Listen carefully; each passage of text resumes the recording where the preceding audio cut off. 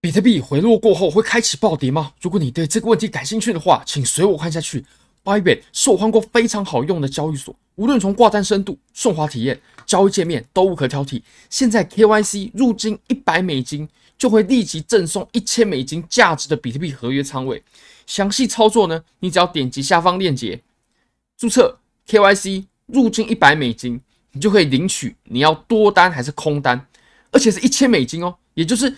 行情只要往你选择的方向运行十趴，你当时入金的一百美金呢，就已经翻倍成两百美金了。那这个时候你可以选择提币，或者是等等等的，那爆仓了也没关系，你可以把你原本的入金的钱再次提出来，完全不会有任何损失。好，我们回到比特币的盘面上吧。那我们从日线上开始说，其实我们可以发现呢，现在啊，诶，我们看一下 MACD，我们一直期待的这个金叉呢，感觉它是 around the corner。在转角即将来临了。不过呢，如果说我们把金叉的时候，把金叉的时机点呢，就作为做多的入场时机点，它是绝对错误的。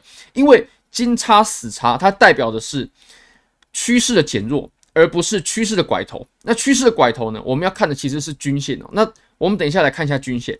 那我们这这里呢，我们先解释一下为什么金叉做多。死叉做空，它是一个错误的用法。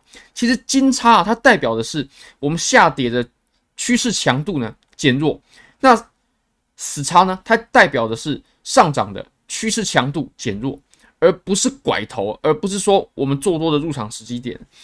怎么说呢？好，那我们这个金叉啊它会代表着什么？即将的金叉。如果金叉的话，那就代表着我们下跌的强度呢已经开始减弱了。下跌的强度。减弱不代表下跌已经结束了，诶，这句话非常关键的。好，我们来看一下，其实像我们前面这个地方，它产生过这种连续的下跌。那如果说我们在金叉的时候去做多，那一定会很惨。比如说在这个位置，我们产生了金叉，金叉，那它大概在这个位置。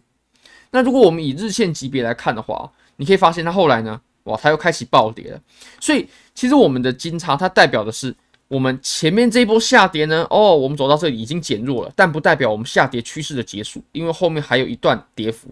那如果我们再往前看呢，你也可以发现这个一模一样的情况。那当然呢，哎，我们这里讲的是金叉嘛，死叉也是适用的。OK，好，我们来看一下哦，像这个地方，OK，你可以看到金叉，金叉，你可以发现涨没有多少，后来就开启暴跌了。然后这个地方啊，金叉。如果你在这个位置金叉的时候去做多的话呢，你可以发现迎接来的就是一波暴跌，因为它只是代表趋势强度的减弱，不代表趋势结束哦。我们这波趋势走的还算是非常顺滑的，非常顺畅的。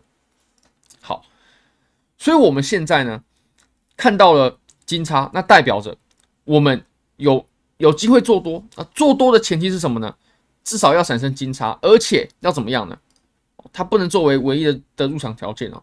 而且我们一定要看到我们的价位啊，它回稳到我们两万七千四百美金的支撑之上，回稳到两万七千四百美金之上。而且呢，这个互换啊，它其实跟一个位置是重合的。那如果我们打开 EMA ribbon 的话，我们就可以发现哦，其实 EMA ribbon 它是非常敏感的一个指标，因为 EMA 嘛，我们有加权平均过。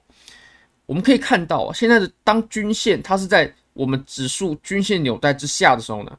那其实价格在线下面，那其实均线立刻就拐头了，因为它的灵敏度是非常高的。你可以发现啊，我们现在价位已经连续好几天了，都在这个线下面，都在均线下面。那只要我们继续维持这个情况呢，其实我们一定会转变成空头趋势的啊，也就是转变成空头排列啊。长期的均线在上，短期的均线在下，空头排列的话，那其实盘面就完全走空了。所以。如果我们要转换成多头走势，或者说盘面要走成对于多头是有利的，那第一，我们必须站稳到白色线之上；第二，我们必须回到这个均线之上。那你可以发现两者几乎是重合的，几近是重合了。哦，基本上我们只要站稳均线，哎，那我们就是站稳在了白色的互换位置上。所以这个位置，如果说我们要做多啊，或者说买入现货啦。针对多头的一些操作的话，我们一定要看到这个行为的，不然我就会认为一定是空头比较有优势。好，那我们为什么会说，其实现在啊，它感觉是撑住了，对不对？但我会认为它其实是已经跌破了支撑，只是苟延残喘的上不去。怎么说呢？那这个我们就必须切到更小级别，我们才能很详细的说明啊。OK，我们再切到更小一点的级别啊，我们把这个互换给画出来。你可以发现呢，我们在这个位置啊有支撑，这个位置支撑，然后阻力、阻力、阻力。那其实我们现在最重要的呢，哦，就是我们现在走的这个箱体了。这个箱体，内行看热闹，外行看门道啊。外行看热闹，内行看门道啊。我们来看一下啊，其实这个箱体啊，它能解读的讯息很多。第一个，你可以发现，我们已经测试了上面的支撑，连续三次都上不去。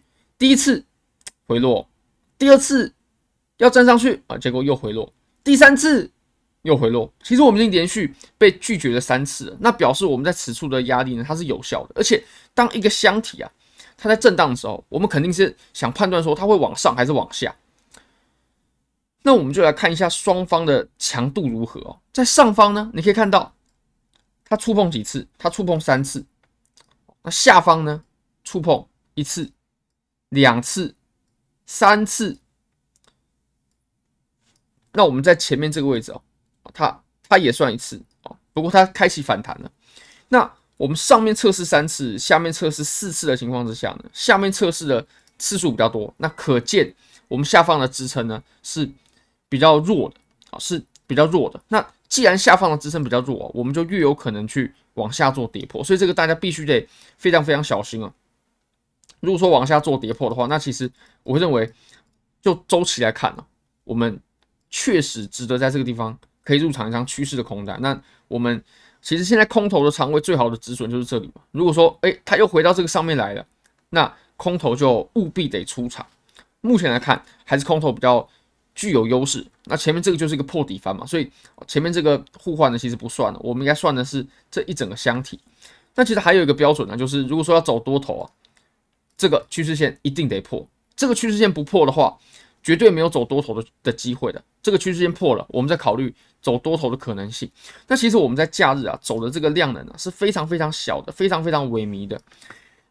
而且呢，这一波拉涨啊，可能有些人就就追进去了。不过我们来看一下 CME 的图表，你可能会说，哎，CME 它在这里不是有留空档吗？但是如果我们把这个图表啊，纵观历史来看，它极少极少留下缺口的，极少。非常非常少，尤其我们在大周期上，那你可能会说，诶，小周期上，哦，你上面不是有个缺口吗？但在日线上是看不出来的。那如果我们价位啊，就维持在我们拉涨的这个位置，大概在两万七千两三百美金左右，那其实跟我们的收盘价还是有差的。两万七千两三百，大概是在这个位置，还是有差一一小段距离的。那这一段呢，其实就极有可能回补。所以你可以发现，我们在假日呢，它又做了一个假动作。它又走了一个假的上涨，立刻又跌回来。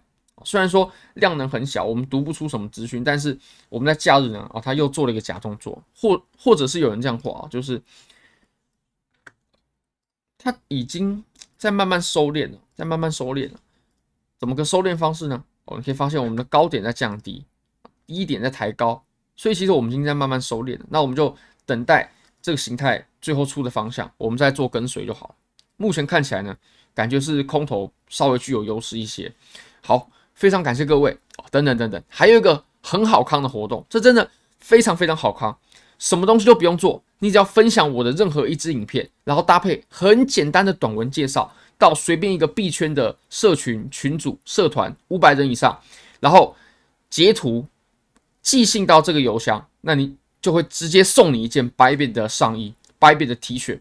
这真的非常非常难得，什么都不用做，也不用注册，不用入金，什么都不用做，就是分享而已，就是分享到一个社区里面，你就可以免费有这个衣服。那海外我们也都有都有送了，不管你是在马来西亚、中国大陆、新加坡，甚至美国，之前欧洲我们全部都有寄过，所以我们可以保证一定会送到你的地方的，并不只限于台湾。好，非常感谢各位。非常欢迎各位可以帮我的影片点赞、订阅、分享、开启小铃铛，就是对我最大的支持。真的非常非常感谢各位，拜拜。